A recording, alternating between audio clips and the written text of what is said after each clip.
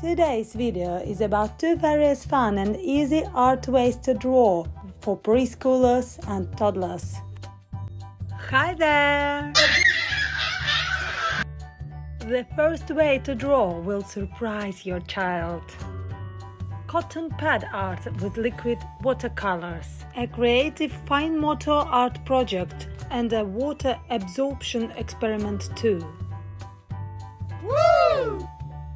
If your little likes to drink water, which he uses for drawing, stains it with food coloring.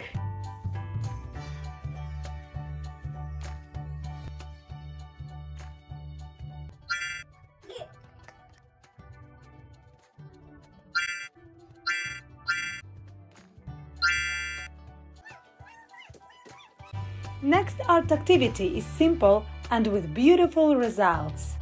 Today we will show you my favorite magic water books. I love them because this art is safe for our home. You can buy this kind of coloring book in the bookstore or online. Your child can use color pen if it's included or paintbrush. Wow, look! It's really awesome! Kids reveal the hidden pictures. Colors appear magically. And now I will share with you my personal life hack. When a child draws, I tape sheets to the table. It's very comfortable for my little. Thanks for watching. Please press like and subscribe to our channel.